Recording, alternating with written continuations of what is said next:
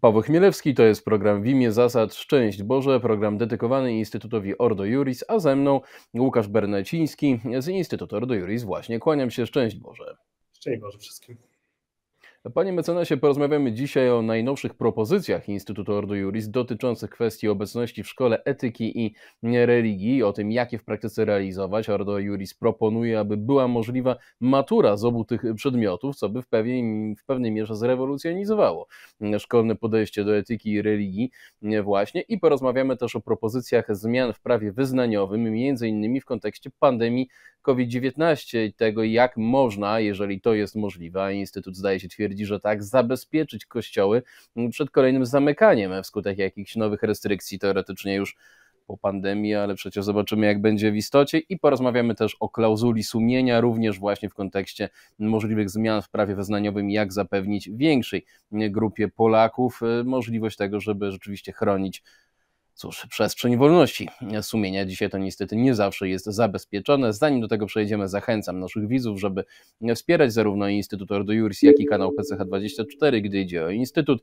Wszystkie informacje znajdą Państwo na stronie ordojuris.pl. Gdy idzie o nasz kanał, można wesprzeć produkcję serialu Władcy Świata. Pierwszy odcinek poświęcony Billowi Gatesowi. Wszystkie informacje na banerze i pod tym nagraniem. A gdy idzie o naszą rozmowę i właściwy temat, będzie rzeczywiście przecież w Polsce religia i etyka w szkołach jako obowiązkowy, no mówię przedmiot, chociaż to wybór będzie czy to, czy tamto. I Instytut Ordo Juris uważa, że nie dość na tym, że można jeszcze zaproponować polskim uczniom mm, pisanie matur, zarówno z religii, jak i z etyki. Dlaczego? Jak miałoby być to zrealizowane i po co?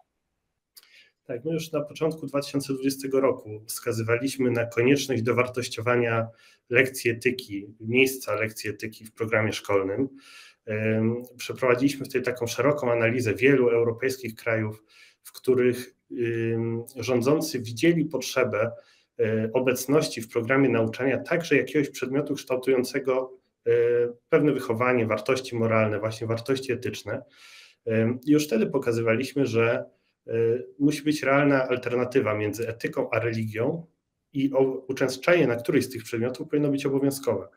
E, I tym tropem e, dwa lata później poszło e, Ministerstwo Edukacji i Nauki. Od przyszłego roku szkolnego, zgodnie z zapowiedziami, bo to jeszcze nie jest nic stuprocentowo pewnego, etyka ma być obowiązkowa lub jeżeli ktoś nie chciałby uczęszczać na etykę, będzie mógł uczęszczać na religię. Także dokładnie ta idea będzie się materializować stopniowo. Rok po roku będzie wprowadzana w coraz to szerszych grupach klas, e, że uczęszczanie na któryś z tych przedmiotów, który, który kształtuje pewne takie etyczne właśnie wychowanie, będzie, będzie obowiązkowe. Ale rodzi się pewne pytanie, skoro tak, to czy nie powinno być tak, że skoro ten przedmiot jest obowiązkowy, to y, moglibyśmy zagwarantować także uczniom uczęszczającym na te przedmioty możliwość zdawania go na maturze. Oczywiście jako fakultatywny przedmiot, nie jako ten z wąskiej grupy obowiązkowych, ale jako tak zwany przedmiot dodatkowy. Skoro mamy historię sztuki, historię muzyki, historię tańca, czyli takie przedmioty, które są w programie nauczania y, wykładane głównie w szkołach artystycznych, nie we wszystkich przecież szkołach średnich, i są one obecne na maturze, to dlaczego nie przedmiot obowiązkowy, który, y, który będzie właśnie powszechny, będzie w każdej szkole realizowany? E, technicznie jest to bardzo proste. Tak naprawdę wystarczy do właściwego rozporządzenia w odpowiednim miejscu dopisać tylko e, egzamin z religii, egzamin z etyki, więc nie jest to żaden problem, jest to jedynie problem pewien organizacyjny, e, no i problem decyzji politycznej, czy, czy tak rządzący będą chcieli. Tutaj największy problem, taki właśnie organizacyjny, na który należy wskazać, to przygotowanie arkuszy maturalnych ponieważ podstawy programowe z religii przygotowują same kościoły. Natomiast arkusze maturalne tworzą specjaliści z e, CKS, Centralnej Komisji e, Egzaminacyjnej. Najpierw na e, poziomie wojewódzkim, później jest to przesyłane, te arkusze są przesyłane do, do Centralnej Komisji, która weryfikuje, poprawia i w ten sposób tworzone są arkusze maturalne. I zachodzi tutaj pewien taki dysonans, gdzie podstawę programową tworzyliby specjaliści kościelni, a arkusze maturalne tworzyliby specjaliści kompletnie oderwani od tworzenia podstawy programowej, specjaliści Centralnej Komisji Edukacyjnej, Egzaminacyjnej. I nasza propozycja jest taka, żeby po prostu do grupy ekspertów tworzących te arkusze włączyć arkusze z religii, oczywiście, tylko i wyłącznie, włączyć także ekspertów kościelnych, tak żeby to powiązanie między tworzeniem podstaw programowych i arkuszy maturalnych było zachowane, natomiast nie oddawać tego pola, pola tworzenia arkuszy, czy to jednej, czy drugiej grupie całkowicie, ale zachować tutaj pewną zasadę współpracy. Tak jak mówię, technicznie jest to bardzo proste. Pytanie, jaka będzie decyzja polityczna. A do czego w ogóle taka matura z religii bądź etyki mogłaby służyć? Czy do podejmowania studiów teologicznych, do jakichś innych celów jeszcze?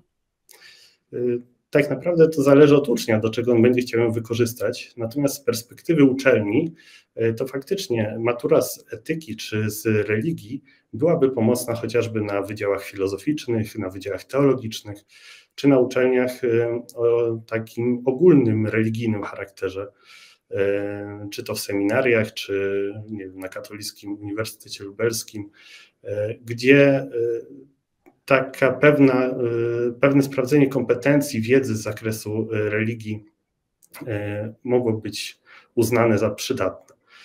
I znowu wracam do tego, że jeżeli szkoły artystyczne mają swoje przedmioty wyspecjalizowane, takie jak chociażby wchodząca teraz historia tańca od tego roku, jeżeli takie przedmioty zdaje się na maturze i takie przedmioty są potrzebne szkołom wyższym do tego, żeby zweryfikować kompetencje przyszłych e, studentów, to dlaczego nie etyka i religia?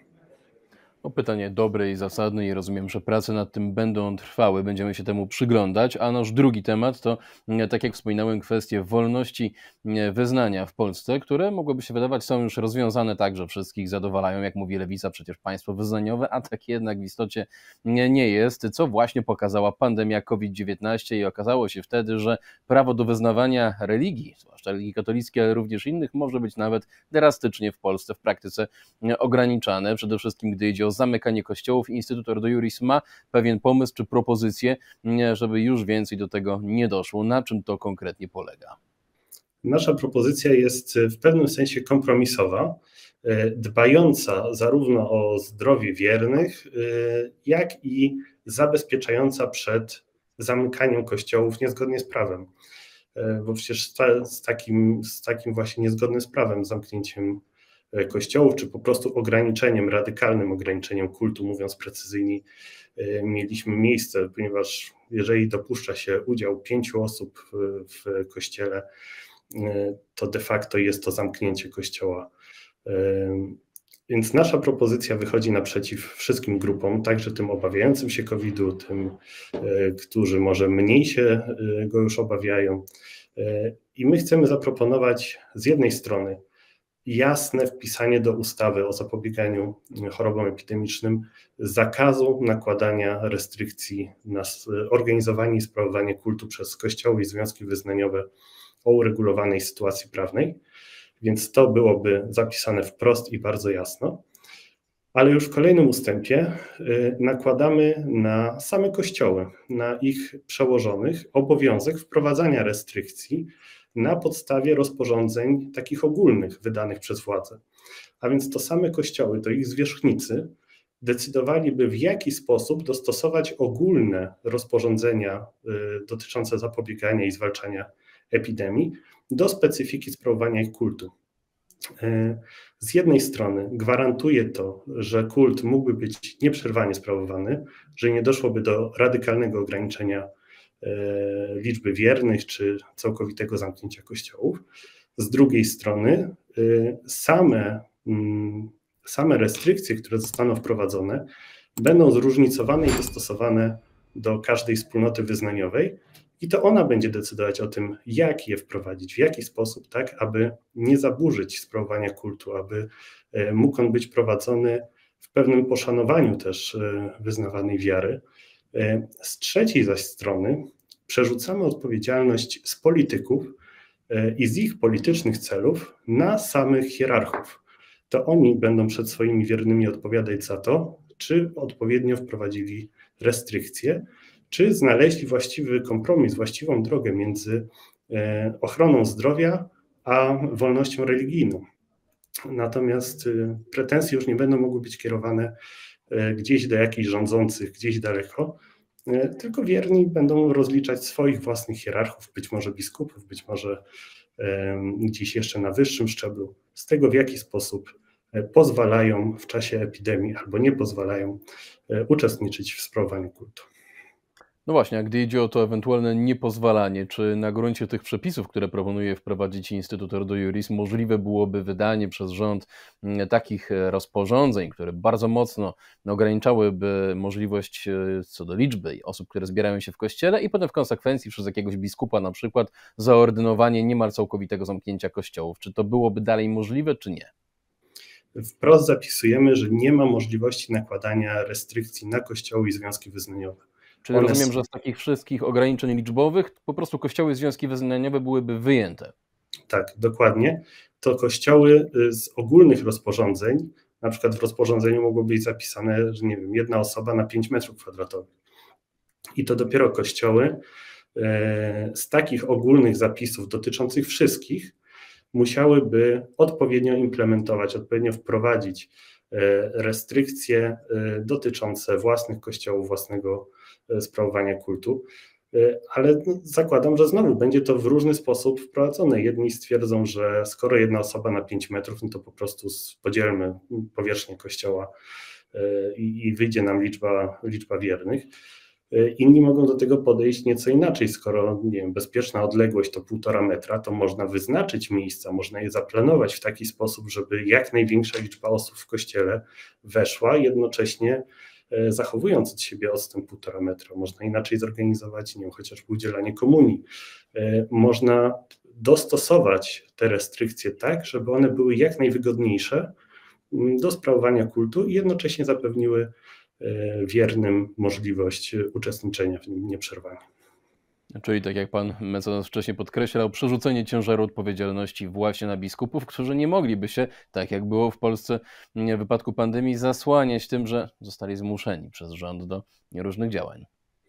Tak, dokładnie.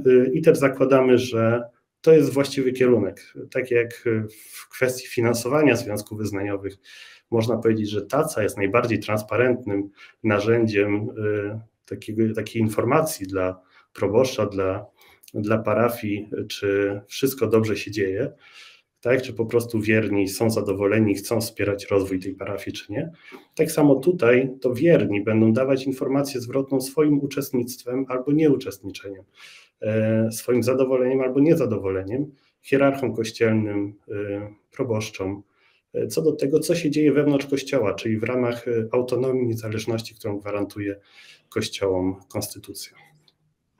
Gdy idzie w takim razie o tę konstytucję, gwarancje dla e, wolności kultu, przejdźmy do gwarancji również konstytucyjnych dla wolności sumienia. Tutaj, tutaj Instytut Ordo Juris proponuje e, wprowadzenie w Polsce zmian w klauzuli sumienia. To jest rzecz nieustannie atakowana przez polską e, lewicę, no bo podaje się w innych krajach tej wolności sumienia, nie takiej klauzuli sumienia nie ma, tylko jakiś polski wymysł rzekomo. Jak to wygląda w praktyce w Polsce dzisiaj na tle innych krajów, zwłaszcza zachodnich i co mogłoby się według propozycji Instytutu Ordo Juris jeszcze zmienić? Przede wszystkim musimy odróżnić dwa pojęcia. Pojęcie sprzeciwu sumienia i klauzuli sumienia. Sprzeciw sumienia przysługuje każdemu i w każdej sytuacji. E, zawsze wtedy, kiedy coś jest niezgodne z naszym sumieniem, czy to w pracy zawodowej, czy w życiu osobistym, e, możemy powołać się na sprzeciw sumienia, na to, że ja nie chcę tego realizować, ponieważ ten czyn jest sprzeczny z moim sumieniem, ja go odczytuję jako czyn niegodziwy lub po niegodziwych skutkach. E, I to wynika z prawa naturalnego, jest przyrodzone każdemu człowiekowi, wynika z jego godności. Natomiast klauzula sumienia to taki przepis, który już na gruncie prawa pisanego, prawa pozytywnego, pozwala skorzystać na określonych zasadach, na określonych warunkach e, z tej klauzuli. E, najczęściej stosowane jest to w relacjach pracownik-pracodawca. Pracownik nie chce czegoś wykonywać, takim najbardziej oczywistym oczywistym przykładem jest dziedzina e, medycyny, e, czy to chodzi o sprzedaż jakichś pigułek poronnych, czy dokonywanie aborcji. Pracownik nie chce tego zrobić, więc korzysta z tej klauzuli, deklaruje swojemu przełożonemu, że on w takich czynach uczestniczyć nie będzie. I mamy wyrok Trybunału Konstytucyjnego z 2015 roku, który nie został de facto wprowadzony y, do polskiego porządku prawnego odpowiednimi przepisami. On oczywiście obowiązuje, skutki, które on e, tworzy, także obowiązują, ale poszczególne ustawy nie zostały dostosowane do tego wyroku. E, stąd podejmujemy próbę pewnego uporządkowania prawa, tak że pracownik, czytając kodeks pracy czy odpowiednie ustawy branżowe, będzie widział, jakie są jego prawa, nie będzie musiał znać tego wyroku, nie będzie musiał znać jakiejś doktryny prawnej, wiedzieć o możliwości skorzystania z, ze sprzeciwu sumienia pomimo braku przepisu, tylko będzie miał czarno na białym napisane w odpowiednim miejscu w ustawie jego dotyczącej, co może zrobić. E, stąd... Co, jaka jest tego podstawa, że tak powiem, ideowa, to znaczy na czym polega ten wyrok Trybunału Konstytucyjnego? E, Trybunał orzekł, że każdy właśnie może się powołać na, na tą klauzulę sumienia, szczególnie jeżeli podstawą e, jego, e, podstawą tego sprzeciwu są jakieś przekonania e, religijne, filozoficzne, także naukowe. To tutaj też często podkreślaliśmy w czasie COVID-u, że mamy sprzeczne doniesienia naukowe i że jeżeli ktoś chciałby skorzystać z klauzuli sumienia, to na podstawie wyroku Trybunału także E, przekonania, badania naukowe umożliwiają skorzystanie z klauzuli sumienia. Jeżeli wiemy, jeżeli znamy takie badania, które, które wskazują, że dokonanie określonego czynu byłoby niegodziwe. E, I tak to odczytujemy w naszym sumieniu. I my chcemy zapewnić taką możliwość e, wszystkim branżom, wszystkim pracownikom branży medycznej, niezależnie od sprawowanej funkcji. Z tego względu, że jest to taka najbardziej narażona y, na, na tego typu działania, być może sprzeczne z sumieniem y, branża, ale także chcemy wpisania klauzuli sumienia wprost do kodeksu pracy, po to, żeby każdy pracownik mógł powołać się na klauzulę sumienia, jeżeli w jego pracy wystąpi taka sytuacja, w której on nie chce po prostu uczestniczyć, nie chce uczestniczyć w takich czynach. Oczywiście może to rodzić pewne e, problemy, pewne konsekwencje negatywne. Być może ktoś będzie chciał tego nadużywać, ale wtedy pozostaje normalna ścieżka e, sądów pracy, które będą weryfikować to, czy pracodawca e, zasadnie nie uszanował takiego, takiej powołania się na taką klauzulę. Czy właściwy byłby wniosek następujący, że wprowadzenie tych przepisów, tak jak je proponuje Instytut Ordo Juris, położyłby, położyłoby kres sekowaniu tak zwanych prawicowych nauczycieli akademickich, czyli jakieś próby zwalniania i tak dalej wykładowców za to, że wypowiedzieli się niezgodnie z lewicowym paradygmatem na temat przykład homoseksualizmu albo aborcji? Być może także, natomiast to jest nieco inny stosunek pracy. Y, tutaj najczęściej chodzi o mianowanie. Jest tak, że y, ta różnica, że najczęściej będziemy tutaj mówić zapewne o wolności prowadzenia badań naukowych, prezentowania ich wyników, o wolności słowa. My raczej skupiamy się na tej części, która dotyczy konkretnych czynów, uczestniczenia w konkretnych aktach, y, na które y, nie ma zgody sumienia pracownika, a ponieważ takich stanów faktycznych może być niezliczona ilość, ciężko je wszystkie przewidzieć, wydaje się właściwe wprowadzenie takiej klauzuli generalnej właśnie w kodeksie pracy, która pozwoli na to, żeby pracownik w każdej sytuacji, w której odczytuje w swoim sumieniu, że nie powinien w, w, jakimś akcie, w jakiejś czynności uczestniczyć, będzie mógł się na to powołać, natomiast pracodawca będzie mógł tego nie uszanować. I jeżeli dojdzie do jakiegoś sporu, no to e, tak jak jest to teraz, właściwym e, rozjemcą będzie sąd pracy. Jak rozumiem, będzie to dotyczyć również pracodawców państwowych. Tak, dokładnie co może być kluczowe w, dla wielu zatrudnionych w szkole, w wojsku i tak dalej, jak domniemy. Wam bardzo dziękuję w takim razie, panie mecenasie, za tę rozmowę i za tę zapowiedź ciekawych rozwiązań prawnych, które Instytut Ordo Juris będzie pewnie szerzej prezentował za czas jakiś. Na pewno będziemy do tego tematu jeszcze wracać. Wszystkim naszym widzom bardzo dziękuję z kolei za uwagę i raz jeszcze zachęcam do wspierania zarówno Instytutu Ordo Juris, jak i naszego kanału, gdy idzie o nasz kanał. Wszystkie informacje na banerze i pod tym nagraniem można wesprzeć produkcję serialu Władcy Świata. Raz jeszcze dziękuję, kłaniam się z Panem Bogiem. Dziękuję z Bogiem.